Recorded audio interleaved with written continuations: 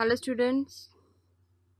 In today's lecture we will discuss how to delete and insert data into your Excel sheet. For deleting your worksheet, for deleting entries in your worksheet, you can perform two kinds of deletion. Firstly, there is clearing a cell other one is deleting a cell. Let's have a look upon clearing a cell. Clearing just deletes or empties the cell's contents without removing the cell from the worksheet, which would alter the layout of the surrounding cells. And what do you mean by deleting a cell? It is the kind it is a cell structure along with all its contents and formatting. Deleting means to delete a cell structure with its contents and with its formatting. When you delete a cell, Excel has to shuffle the position of entries in the surrounding cells to plug up any gap made by the action. For example, if you delete, I'm going to delete this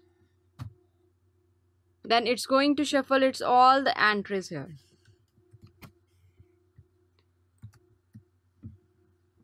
When I have to clear this then only the content of the cell will be cleared not the cell. But when you press the delete then the cell will be deleted. You have an option of clear in the editing group this one. This is the option for clearing your cell content. When you're having the drop down it speaks up of clear all.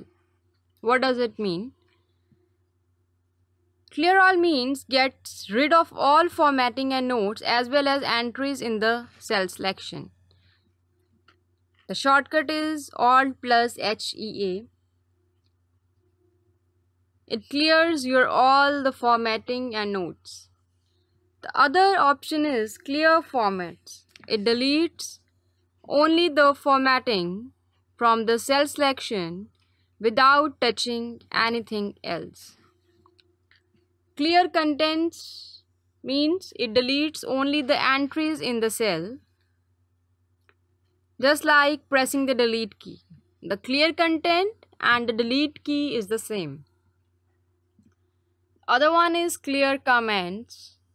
It removes the notes in the cell selection but leaves everything else behind. The other one is clear hyperlinks.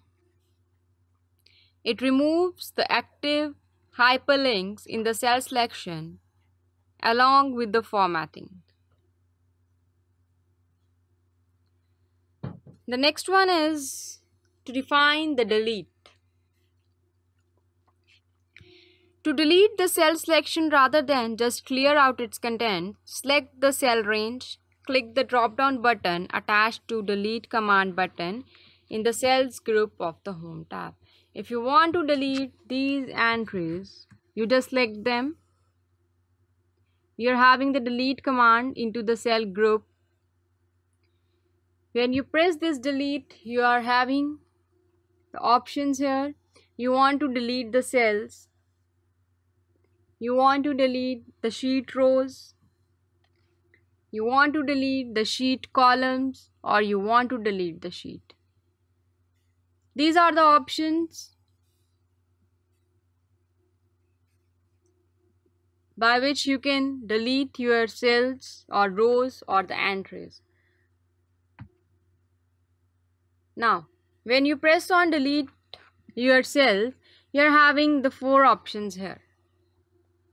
What does these options says? Firstly option is shift cell left.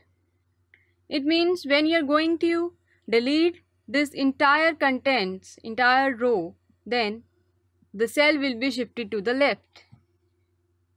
The other option is shift cells up. When you will delete these entries the your cell range will be shifted to upper side. If you want to delete the entire row then the entire row means the fourth row will be deleted. If you want to delete the entire column it is when you click on uh, column values then the entire column will be deleted. We have selected shift cells up. You press ok and your Simon shop entries are shifted to upper side. You can view this when you press on delete. You're having delete cells you're having options here. Shift cells up then the Simon shop entries these entries will be shifted to upper side so this is the way how your delete command button works other one is how to insert entries between your worksheet rows and columns. For those times when you need to squeeze new entries into an already populated region of the worksheet, you can insert new cells in the area rather than go through all the trouble of moving your all the worksheet data.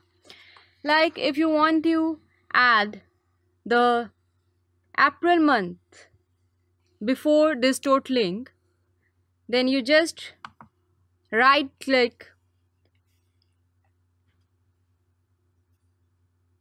and press insert it is to insert your new column you can write anything here you can write April month here you can put on your entries in the following sections